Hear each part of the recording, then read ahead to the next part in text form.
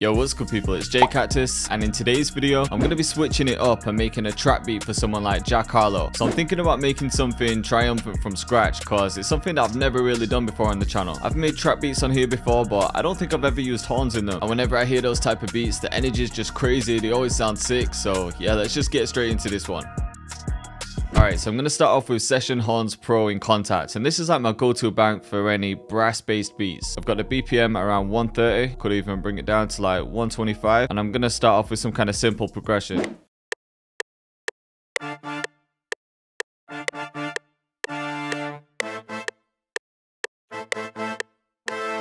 Let's bring that down an octave. So this is like the foundation. Just really simple, just two chords, and then I can build on this. So I want like a bit of variation, so maybe I'll just change some chords. And actually, I might get rid of those notes and copy these down. And then we can add some filler notes here. And once I like the sound of them, I can just start building some chords from them. Like that. Let's try copy these two. There we go. And then maybe in this section we can get rid of these and then have some kind of change at the end. So same again with these. Let's build chords. Now we've got a real foundation. So in this second half, I'll just switch things up a little bit. I'm just going to get some reverb on there. About there. Uh, and then just a little bit of delay too. So it definitely needs more, but at this point, I'm just going to add some drums to get the basic bounce, and then I'm going to know what space I have for the instruments. So I'm going to go to the vault, and I'll pick my Trap Lords kit, and we'll get a clapping first. Go to crispy clap.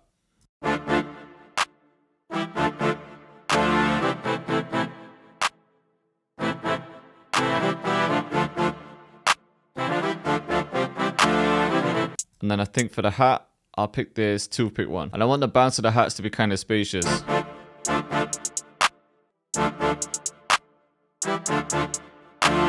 then we can get some fillers in.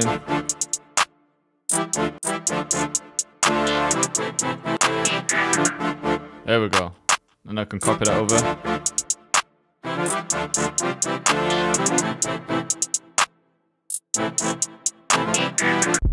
And I think I'm going to use the Zay for this one too.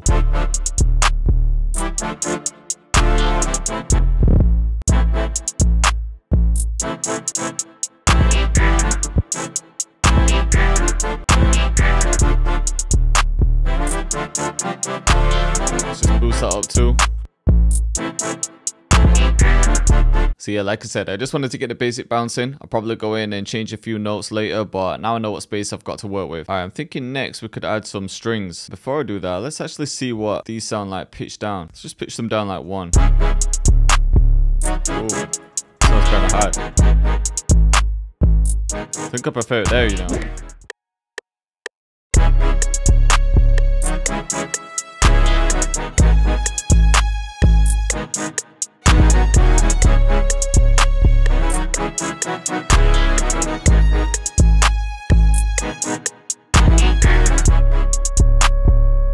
Think that sounds better, you know.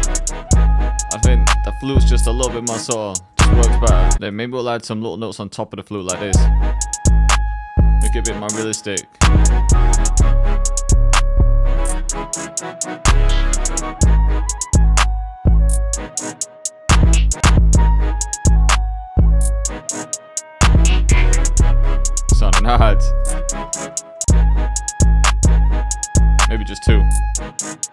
And I want to layer those horns with something just to give it more atmosphere. I found this preset in Analog Lab, but I think I just want to keep the first few notes in. Something like this.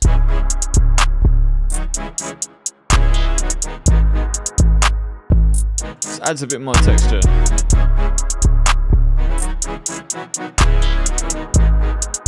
Maybe up an octave though. Yeah, I think that sounds hard. Could use that in a hook or something. Alright, the next one I'm going to add is this Dust Cinema preset. And these are going to be longer notes.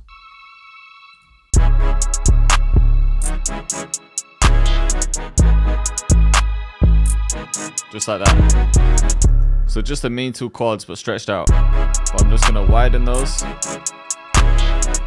Maybe add some kind of filter.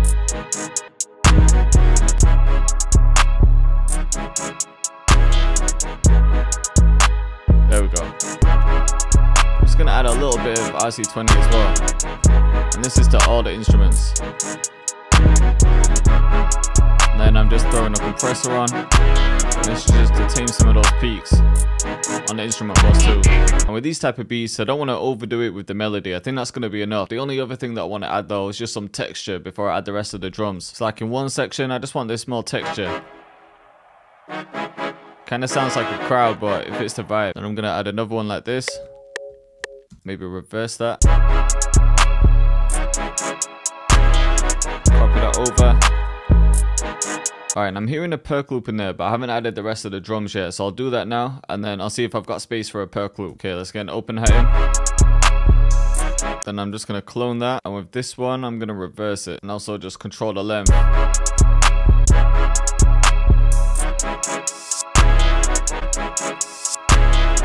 think just that.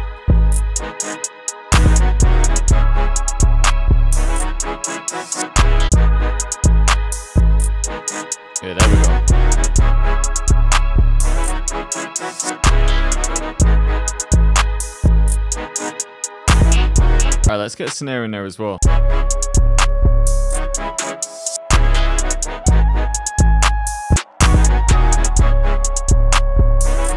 Copying that over too. Get them the same velocity. Alright, and I'm gonna bring this perc in as well, and then just catch the rest of the bounce. And then maybe we replace these three with this room. See how this sounds. Bring down the velocity as well. Yeah, it's sounding hard. Alright, let's go back to the 808. Maybe we could just change a couple notes. Like this one. I think I want that to be a reverse note. Alright, let's copy that into a kick too. So it's going to be the same pattern as the 808. Some of the notes will be removed though. i Thinking just these three.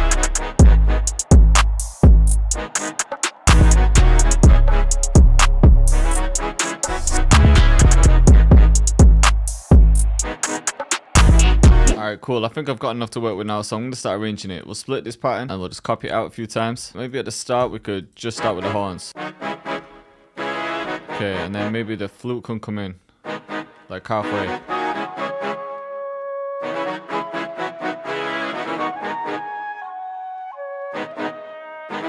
Alright, in the intro, I'm just actually bringing the horns down an octave.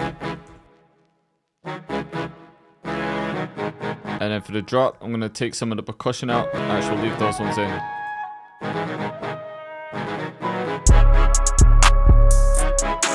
And then just one note from the flute.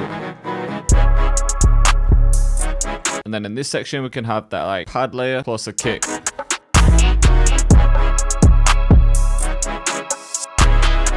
Definitely notice a hook in this part. And then in this section, we can just copy these out a few times and then start arranging the verse. So I might bring the horns back down octave. Take out some of the percussion. And in the next section, we can bring the flutes in.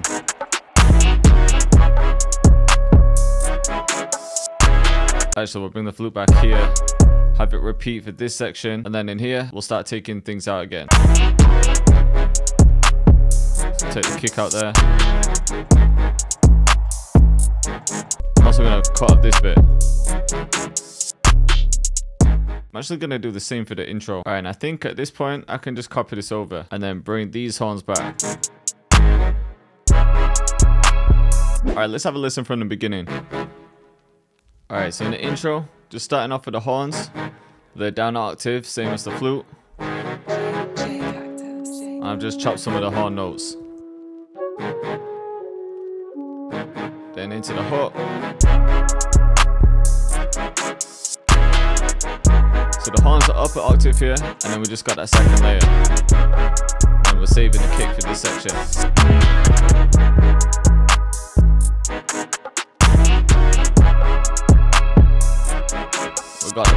Part too.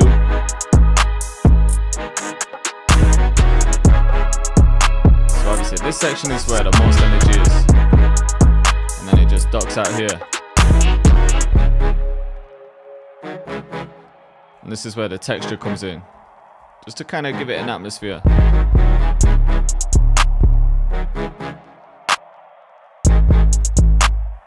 And then the flute comes back in.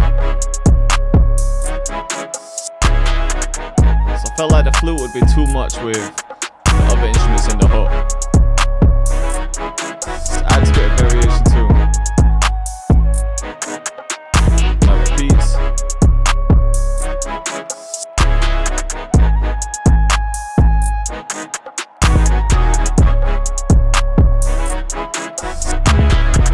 And then in this bridge here, kind of similar to the intro. But I'm just slowly taking things out.